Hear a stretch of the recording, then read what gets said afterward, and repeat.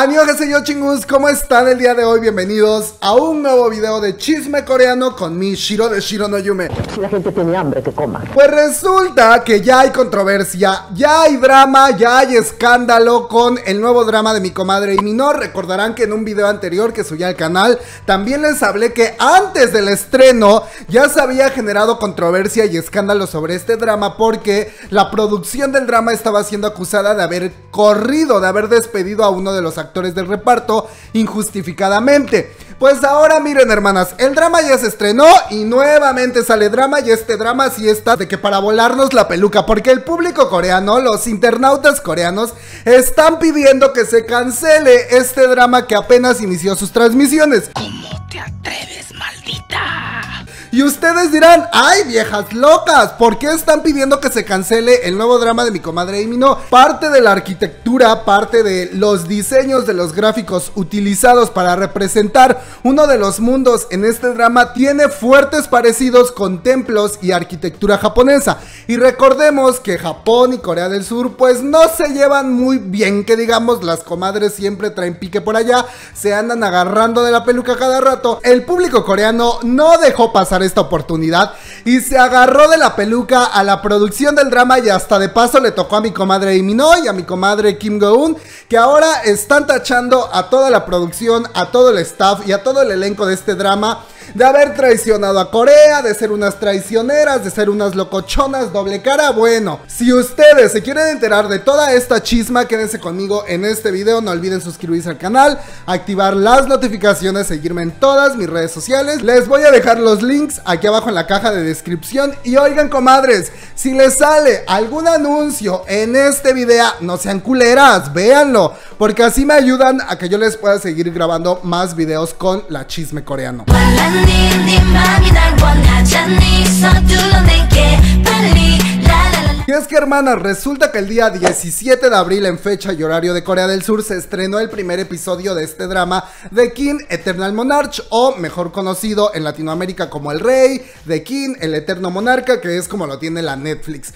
Pues resulta que este drama antes de su emisión, desde que se anunció que la escritora de dramas como Goblin y Descendants of the Sun estaba preparando una nueva historia y que además y Mino ya había confirmado su papel como el principal protagonista y que a él se iba a unir la comadre Kim Geun que vimos en Goblin. Uy, no hermanas, este drama se volvió tendencia fue un drama que generó mucha expectativa y no es para menos porque juntaba a dos de las grandes estrellas de Corea del Sur y que además tenía el respaldo de una historia creada por una de las más grandes guionistas que ha dado ese país. Así que llegó el día del estreno del drama y hermanas, el primer episodio de King Eternal Monarch la rompió total en Corea del Sur porque una de las plataformas que se encarga de medir la popularidad y el rating de los programas de televisión en Corea del Sur informaba que el primer episodio de The King Eternal Monarch había superado el 10.11% de rating a nivel nacional en Corea del Sur y el capítulo 2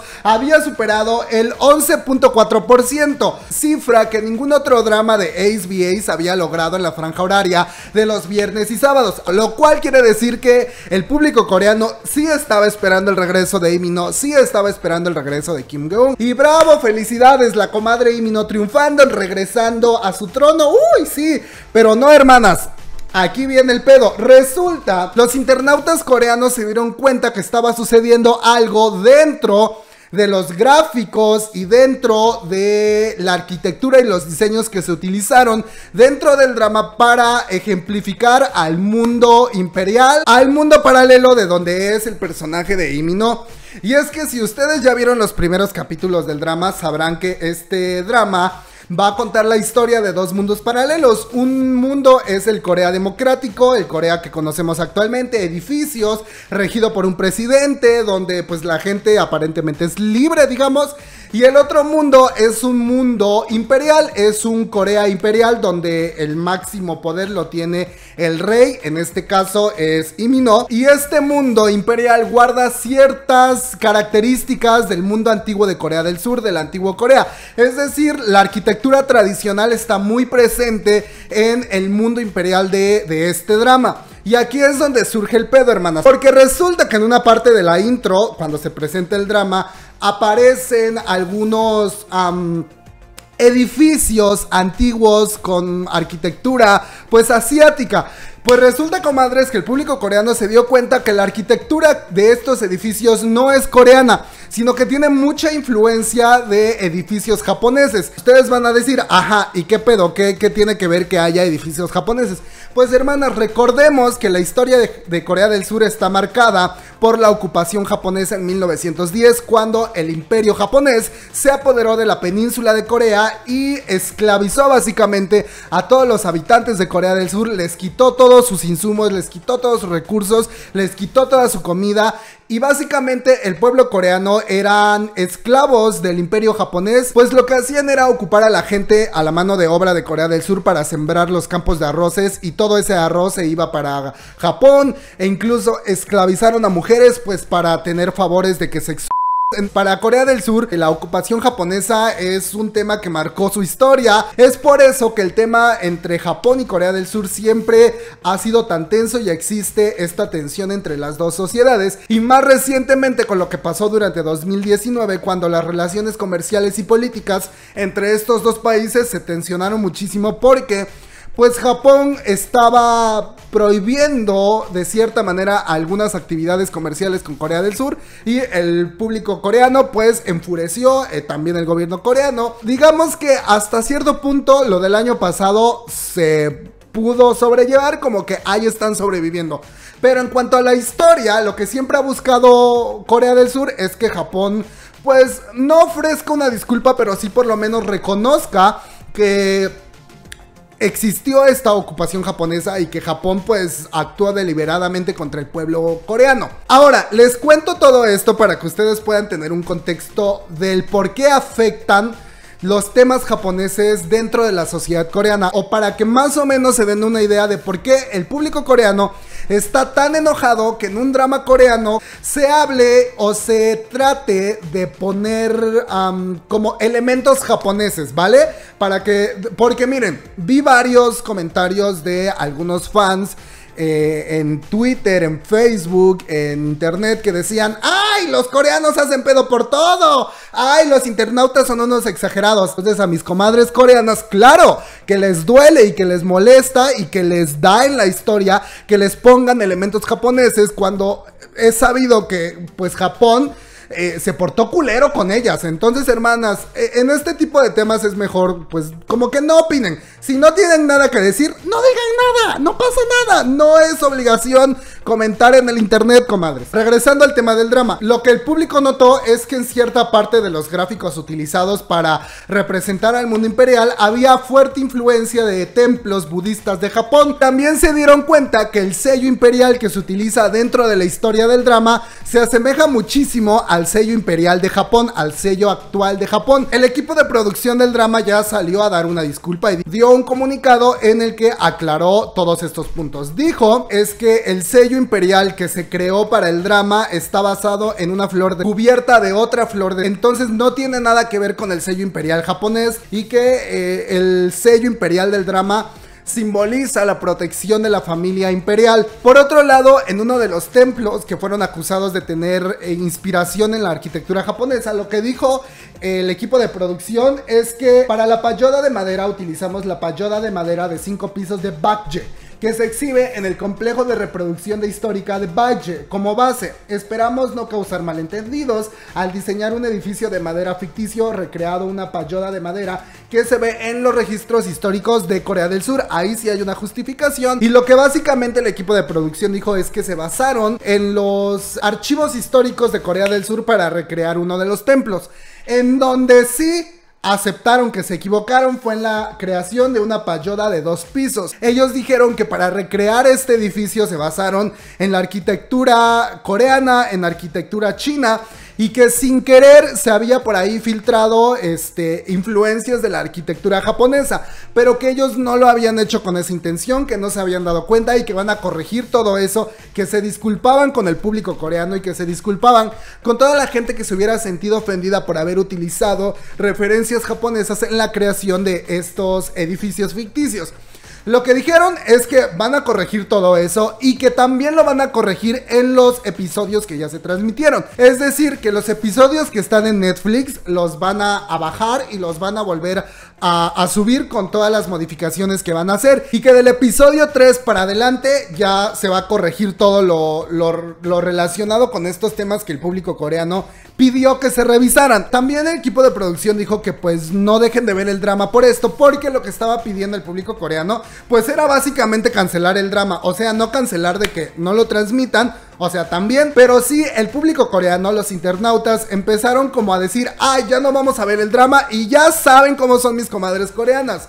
De que los internautas dicen, ya no vamos a ver este drama o ya no vamos a apoyar a este idol, comadres, agárrense porque lo hacen. O sea, ¿cuántas veces hemos visto que el público coreano ha básicamente destruido la carrera de muchos idols o han llevado pues de que a la cancelación varios dramas y varios programas porque ellos mismos lo piden a través de peticiones o porque dejan de verlos y es que ahí las comadres sí son perras. Por otro lado, las principales críticas fueron para el equipo de producción, para toda la gente que está detrás de la creación del drama, para los que se encargan directamente de las escenografías, de los gráficos, pero también le tocó por ahí a mi comadre Imino porque parte del público coreano empezó a atacar a Imino y a Kim Go-un de que por qué ellos no están al tanto de todo lo que está pasando, que ellos también tienen la culpa porque no se fijaron de la influencia y pues bueno, empezaron a atacar. Y ahí es cuando yo les digo, a ver, comadres coreanas, mi comadre Imino ni es diseñadora gráfica, ni es diseñadora de interiores, ni es arquitecta,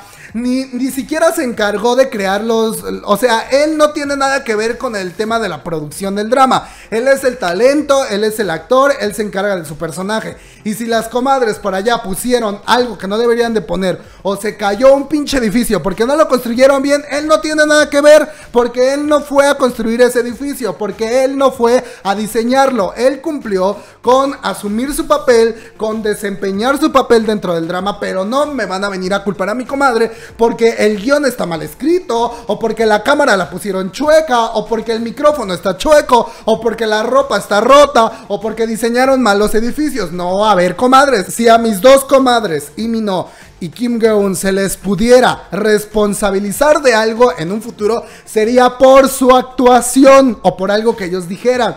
Pero no se le puede culpar por cosas que son estrictamente de la producción, porque ellos nada tienen que ver en el tema de la producción. Ellos no están ni dirigiendo, ni produciendo, ni escribiendo. Ellos están actuando. Entonces, aquí no me vengan a quererle tumbar el evento a mi comadre y mi no, porque entonces sí se me sale lo perra y me las voy a ir a cachetear. No, no es cierto, porque está muy lejos y no podemos salir ahorita por lo de la maldita. Chocaste con el muro de Berlín.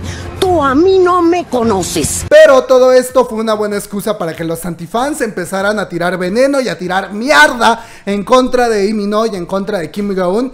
Y también han empezado a los comentarios negativos acerca del drama, que no está bien hecho. Pero pues bueno, vamos a ver en qué termina todo esto. El público coreano no ha dicho nada todavía y pues todo se va a ver reflejado en el tercer episodio. Si el tercer episodio del drama, el rating de televidentes baja demasiado o baja drásticamente, eso quiere decir que el público coreano pues sí está decidido en ya no apoyarlo. Pero miren, yo creo que la producción ya dio su comunicado, ya explicó lo que sucedió y pues miren, se pueden equivocar. Ahora, tampoco eso nos da a nosotros como fans de Latinoamérica el derecho de decir, ay, las comadres coreanas son unas exageradas porque es un tema de ficción. No, hermanas, porque tiene que ver con parte de su cultura, tiene que ver con su historia, tiene que ver con todo lo que le sucedió. Es como si a nosotros de México vinieran las comadres españolas a, burlarse de nosotras en la cara y a querernos ver la cara de estúpidas. ¿Qué ha pasado? De España que nos conquistaron,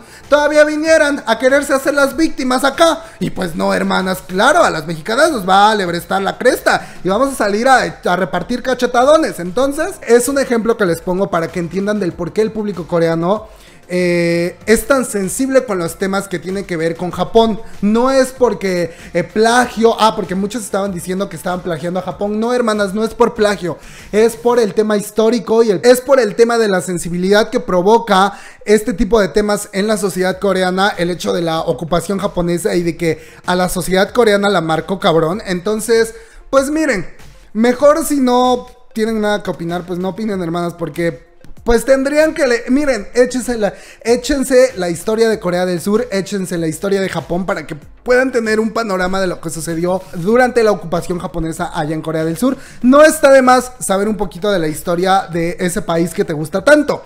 So, hasta aquí el video del día de hoy. Esperemos si no cancelen a mi comadre Amy. No, no están pidiendo cancelar a Amy, no. No, están pidiendo cancelar el drama. A Amy no, no. Nada más a mi comadre por ahí me la embarraron tantito, pero antes de que me la embarren más, yo ya salí a defender a mi comadre. Entonces, eh, pues nada, hasta aquí el video del día de hoy. No olviden suscribirse, activar la campanita de notificaciones, seguirme en las redes sociales y nos vemos hasta el próximo video. Bye bye.